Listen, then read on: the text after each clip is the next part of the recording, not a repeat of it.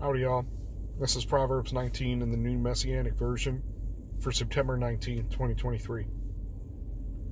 Better the poor that walks in his integrity than perverse in his lips and is a fool. Also, the soul without knowledge, not good, and he that hastes with feet sins. The foolish man perverts his way, and his heart frets against the Lord Jehovah. Wealth makes many friends but the poor is separated from his neighbor.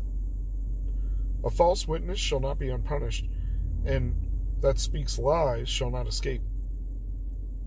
Many will entreat the favor of the prince, and every man a friend to him that gives gifts.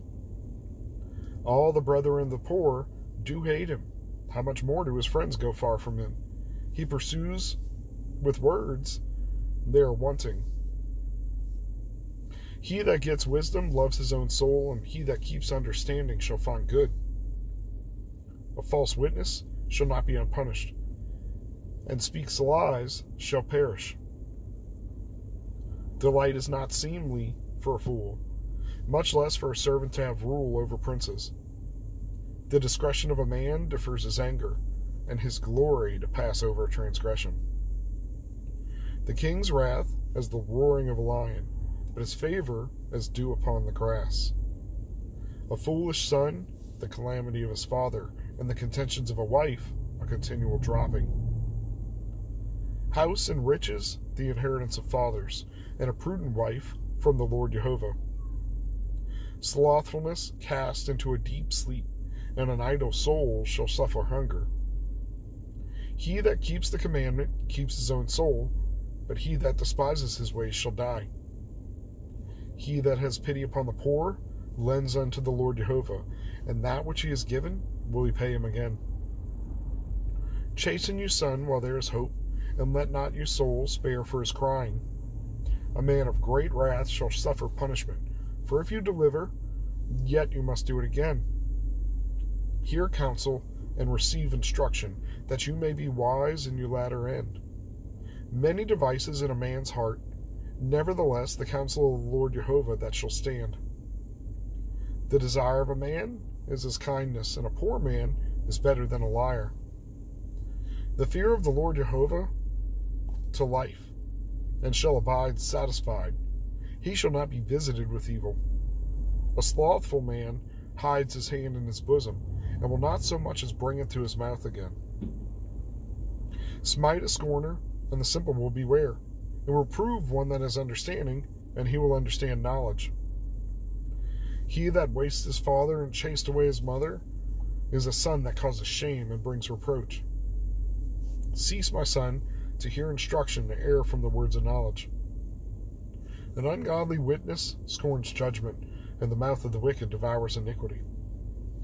Judgments are prepared for scorners, and stripes for the back of fools.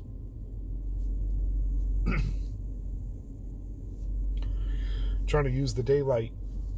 Just got home from a delivery. Time to cook. It's gonna be egg roll in a bowl.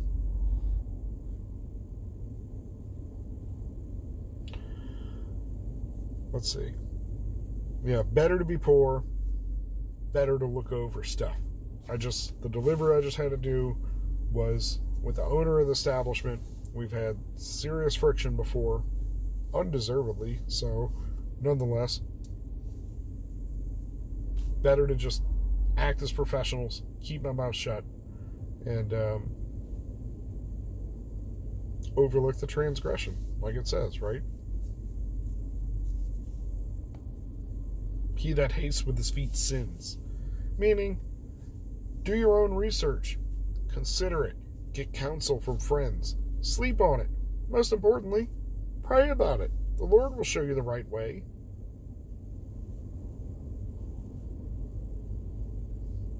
That's it. The Lord will show you the right way. Sometimes the right way is a far way off, or it's going to be a long road, and we get impatient and we think, did we really hear that? You'll know if you're in your prayers.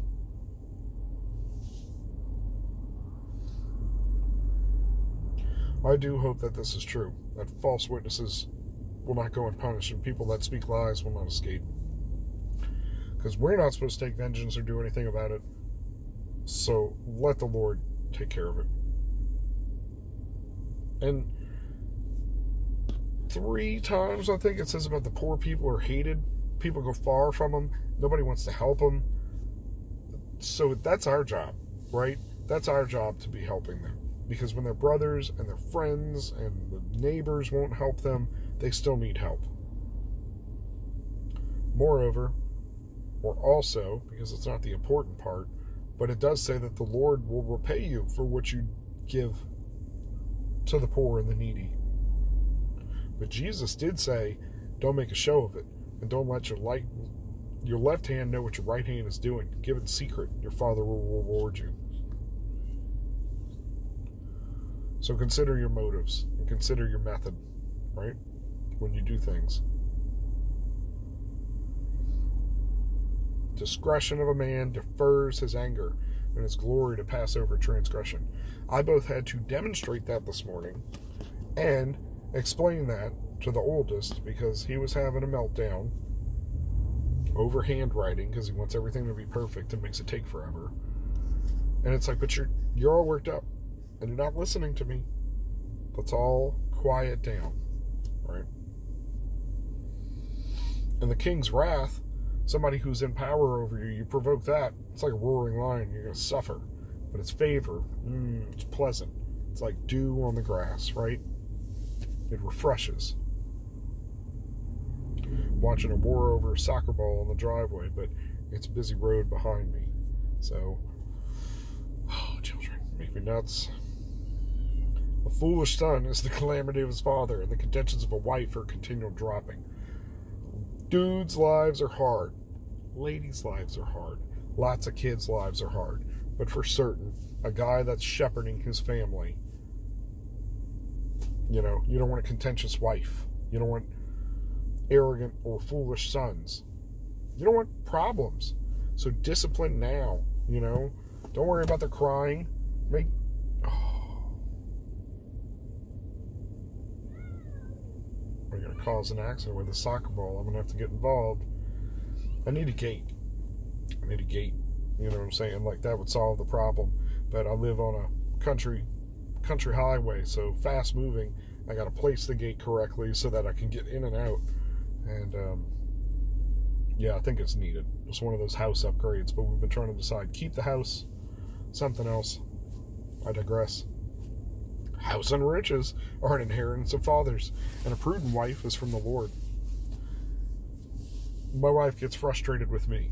I'll lead with that and stay, and I get frustrated with my wife because Lord knows I'll probably frustrate her more. But I would say she's a prudent wife. She's from the Lord, right? And I'm trying to build wealth and property and assets so that I have something, you know, houses and riches to give to my kiddos.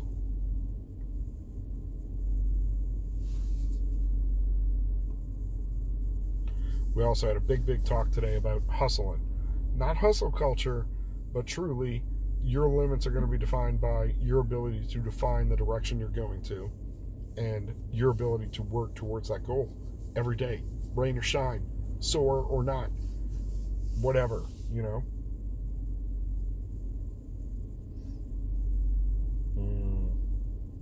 This could be an accident. Watching when I'm stand up on something that's wobbling around. Let's see if the oldest realizes what happens and, and grabs him. Oh, he sat back down. Perfect.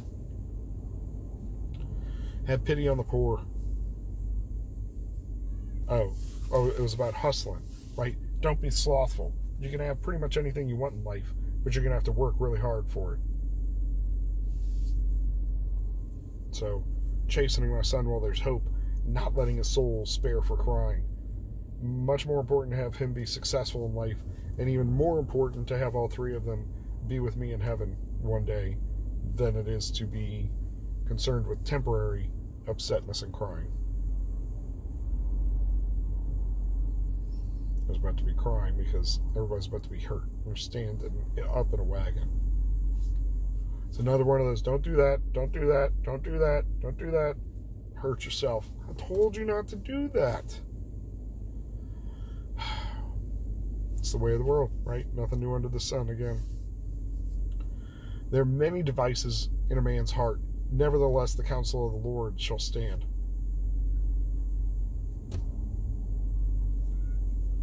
We can plot our way. How it falls is on the Lord. And we need to accept that and welcome that.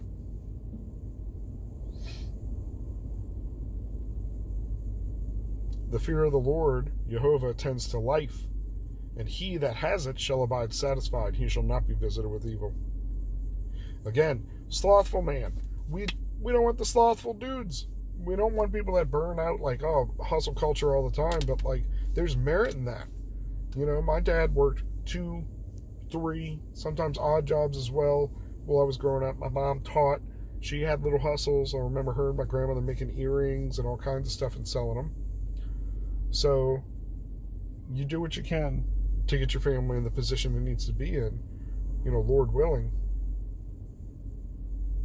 Oh, I love my kids, but watching this, watching three little boys go at it is nerve wracking at times. And I'm pretty easygoing and not a helicopter parent. My wife would be losing her little mind right now. Not doing much, but it's what they're doing, how they're doing it with this wagon. And it's like, one of them just fell on his butt. He might have cracked his head. Silly boys. Smite a scorner, and the simple will beware. Reprove one that has understanding, and he will understand knowledge. Look, look, it's all right to hang out with, I don't want to say less intelligent people. That sounds judgy, right? But I mean, there's a spectrum of intelligence. We all sit on it somewhere.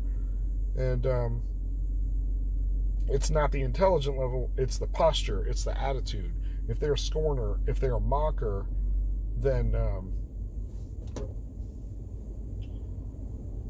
that's not somebody you want in your company. If they're simple, then at least when you correct them, they will learn. I'm going to have to sign off and intervene.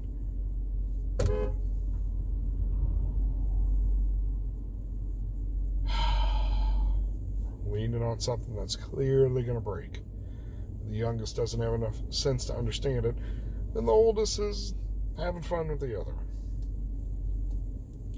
Point is, watch the company you keep, right? It's okay. Like, if there are people that are responsive to correction, those are the people that, yeah, you want to hang out with. A mocker, a scorner, a fool that just wants to hear themselves talk, it is counterproductive for you to waste time on them, with them, your time, your breath. Say what the Lord wants you to say to them and be sensitive. Pray about them before you talk with them. Hmm. Some of the things I have to say, I'm constantly. It's like I say it all the time. And he that wastes his father chase away mother, it causes shame and brings reproach. Yeah, for sure. Take care of your parents in their old age. Take care of your parents in their young age. Just take care of your parents, honor them.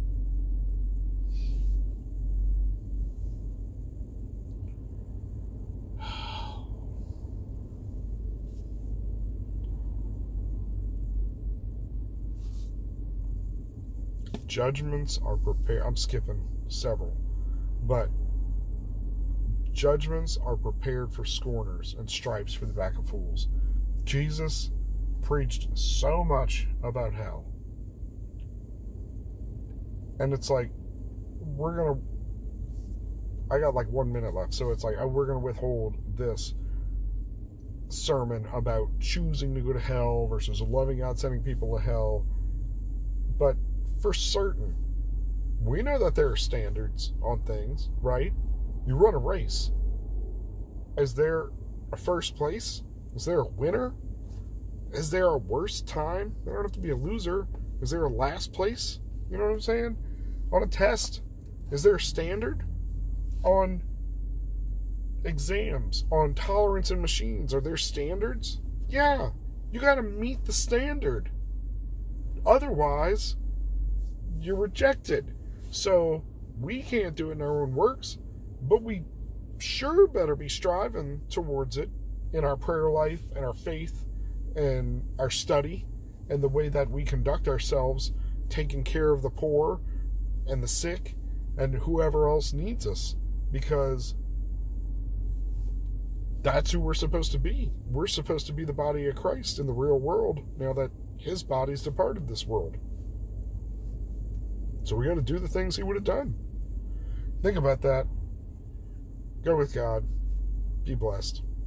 Thanks to everybody that's been watching these videos. I'm really blessed by it. Keep me in your prayers. I keep you in mind.